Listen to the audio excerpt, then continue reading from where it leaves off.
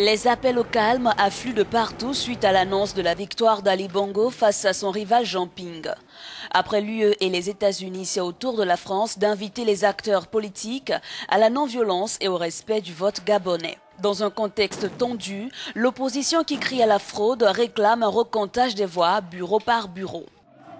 Une recommandation soutenue par les puissances occidentales mais désapprouvée par le camp d'Ali Bongo. En effet, la France est préoccupée par la situation au Gabon, souhaite que le vote du peuple gabonais soit respecté, que s'il y a des contestations, elles doivent être faites par la voie juridictionnelle et non pas par la, violence. Et puis nous demandons, pour qu'un signe fort soit donné de transparence, que les résultats des élections soient donnés bureau par bureau.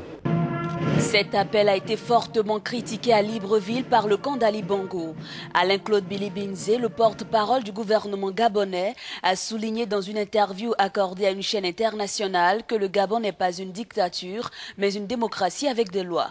Pour lui, ceux qui réclament le recomptage des voix doivent s'adresser à la Cour constitutionnelle. Déjà en janvier, le Premier ministre français Manuel Valls avait mis en cause la légitimité de la victoire d'Ali Bongo en 2009, une sortie qui avait froissé les autorités de Libreville, mais avait été finalement vite oubliée. Pour le camp Bongo, les Gabonais mais aussi la France ont des intérêts dans ce petit pays de moins de 2 millions d'habitants.